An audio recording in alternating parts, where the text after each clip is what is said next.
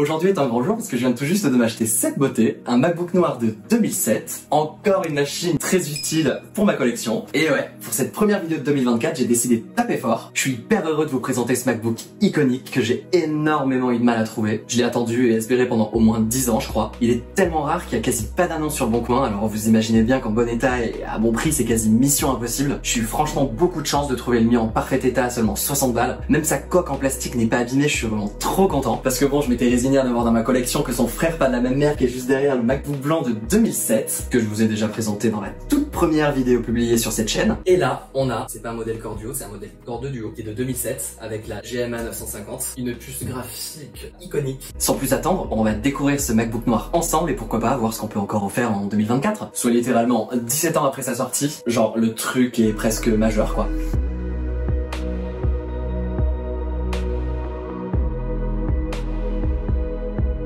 Et surtout, avant de passer au reste de la vidéo, je vais faire une pause sur l'esthétique de ce MacBook.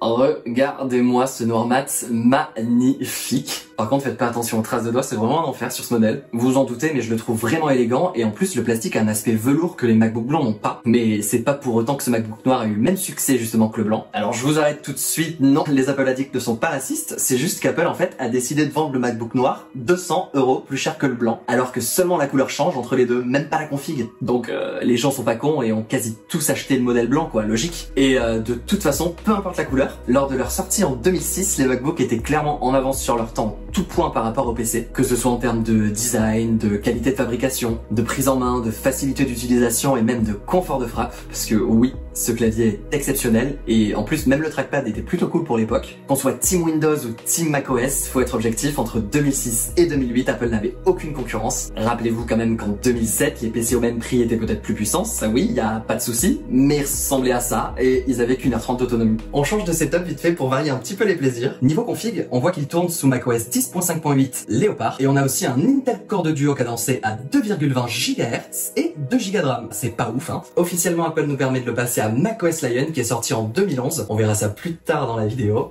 Alors autant le dire tout de suite, 2 Go de RAM en 2024, ça va pas le faire. Donc je vais l'upgrader pour le mettre au max de ses capacités. Et pendant que je le démonte, je vais changer la prise de vue pour que vous voyez un petit peu ce que je fais en direct. Donc je retire d'abord la batterie en mettant une pièce de monnaie. Puis je dois retirer quelques vis pour avoir accès à la RAM.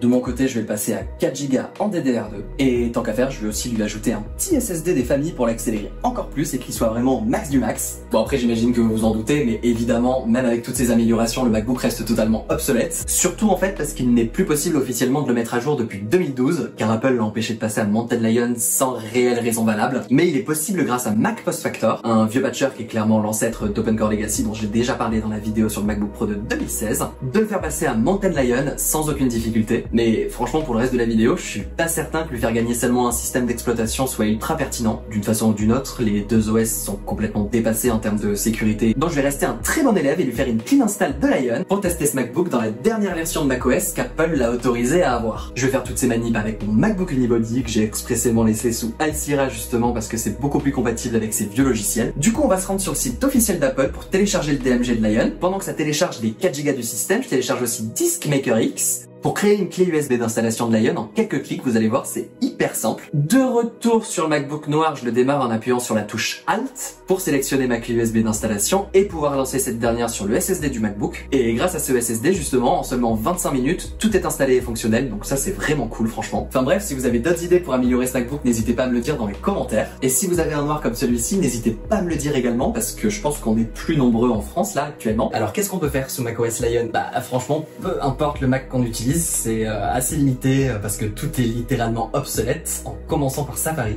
Et c'est super compliqué, mine de rien, de trouver un navigateur à jour quand on tourne sur un macOS antérieur à Catalina. Clairement, Edge, Chrome ou Firefox sont plus du tout compatibles. Mais en baladant sur Reddit, je suis tombé sur un thread hyper cool qui propose Arctic Fox, un navigateur totalement à jour basé sur Firefox forcément. Et encore mieux, en scrollant la page GitHub de Arctic Fox, j'ai vu que Chromium est dispo en version Legacy pour tous les vieux macOS à partir de Lion. Ça c'est une annonce qui m'arrange totalement parce que bon, euh, les interfaces basées sur Firefox sont assez ignobles, hein, qu'on se le dise. Et en testant tout ça en navigation web sur les sites que je consulte euh, quotidiennement, c'est pas dégueu du tout. Enfin, ça fonctionne, ce qui est déjà un exploit puisque même si c'est lent, c'est franchement déjà impressionnant de pouvoir surfer sur un vieux MacBook comme celui-ci sans trop de problèmes et surtout avec un navigateur à jour. On va vite fait tester YouTube parce que c'est quand même important. L'ouverture est évidemment euh, hyper lente, mais euh, on peut pas lui en vouloir. YouTube possède de plus en plus de scripts et c'est un site hyper gourmand pour un vieux processeur Intel Core de Duo comme celui-ci. En tout cas, on peut lire sans problème une vidéo en 480p. Bon, encore heureux même. Mais si on passe sur du 720, c'est encore plutôt fluide. Et comme l'écran du MacBook en plus est 720p, bah, il y a aucune raison de vouloir plus que ça. En tout cas, pour un usage basique, franchement, ça fait taf, même si le son est vraiment métallique. C'est un peu un enfer, ça. Ce MacBook est aujourd'hui beaucoup plus adapté à un usage beaucoup plus basique, comme du traitement de texte par exemple. On peut tout à fait installer une ancienne version de la suite Office, en l'occurrence la version de 2011, qui est la dernière bah, compatible avec Lion, et profiter de ce magnifique clavier pour écrire par exemple bah, le script de cette vidéo. Hein. C'est hyper agréable même si le MacBook est ancien, parce que c'est la seule utilisation qu'on peut avoir de lui sans que ça déclenche ses ventilateurs, donc bah faut en profiter quoi. En navigation et traitement de texte, vous pensez qu'on peut faire quoi d'autre avec ce MacBook? Je pense que vous le sentez venir. Je vais évidemment lancer les Sims 2 pour voir ce que ça donne, avec le portage original de 2005, qui était une application universelle, compatible aussi bien avec les Mac PowerPC que les Mac Intel. D'ailleurs, en 2007, quand j'ai joué sur mon iBook euh, G4, j'ai le souvenir que c'était une catastrophe. Et là, sur un Mac Intel de deuxième génération, bah ouais, c'est pareil, c'est vraiment injouable. Dites-vous que ce MacBook coûtait 1500 balles à sa sortie en 2007, soit deux ans après la sortie du jeu sur macOS, et c'est impossible de jouer dans de bonnes conditions. C'est franchement un peu honteux, ça tourne entre 5 et 15 FPS, c'est vraiment pas ouf. Et ça serait certainement mieux évidemment sous Windows 7 avec la vraie version PC du jeu, mais bon, j'ai franchement la flemme d'installer Bootcamp et c'est pas trop le but de cette vidéo.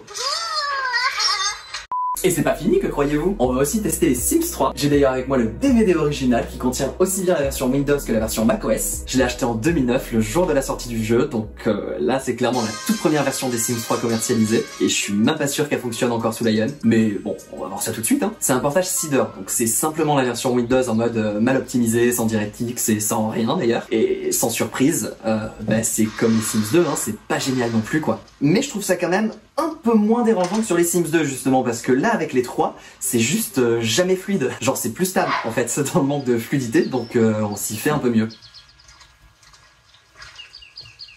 Bref, vous l'aurez compris, sous macOS on peut plus faire grand chose parce qu'en soit même avec un navigateur à jour, c'est franchement risqué de se balader sur internet avec un système d'exploitation totalement vulnérable et dévasté car ces failles de sécurité n'ont pas été résolues depuis la dernière mise à jour de sécurité de Lion en 2014 ça fait long quand même. Donc si jamais vous avez l'idée folle d'utiliser quotidiennement un vieux Mac comme celui-ci, un dual boot avec un système d'exploitation beaucoup plus récent par exemple comme Chrome OS peut être envisagé. Justement Chrome OS Flex est une super solution pour combiner facilité d'installation et d'utilisation et la possibilité de surfer sur euh, internet avec un OS complètement à jour niveau sécurité. Pour créer une clé USB compatible PC et Mac avec Chrome OS Flex, il suffit de télécharger l'extension Chromebook Recovery Utility et de l'installer sous Chrome, puis de suivre les quelques instructions, en gros euh, sélectionner Chrome OS Flex, sélectionner sa clé USB et hop, c'est fini. Puis une fois sur le MacBook, j'appuie comme tout à l'heure sur Alt pour sélectionner la clé USB fraîchement créée. là, on a deux solutions, soit installer Chrome sur le SSD directement, soit le tester en mode euh, Live USB. C'est souvent possible avec les différentes euh, distributions de Linux. Libre à vous de faire votre choix, mais forcément Chrome OS sera plus rapide installé sur un SSD que sur une euh, clé USB. Du coup, j'espère que la navigation sera encore meilleure que sous Lion, parce que c'est un peu le but de la manœuvre à la base quoi.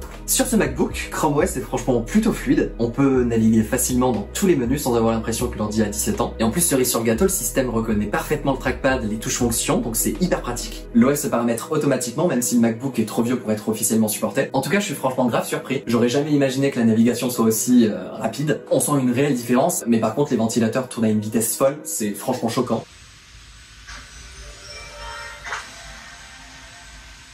Et je l'ai toujours pas dit, mais si cette vidéo vous plaît, n'hésitez pas à me donner un petit peu de force en mettant un pouce vers le haut et en vous abonnant à ma chaîne. Parce que pour 2024, j'ai pour objectif de vous présenter que du vintage ici. Donc j'espère que vous aimez les vieilleries parce que le prochain ordi que je vais tester ici sera encore plus dépassé que celui-ci. En tout cas, avoir un MacBook noir, c'était vraiment un rêve de gosse. Donc je suis hyper content de vous l'avoir présenté aujourd'hui. Il va pouvoir prendre place dans la nouvelle étagère tel un bel objet déco. Ça rend super bien, non?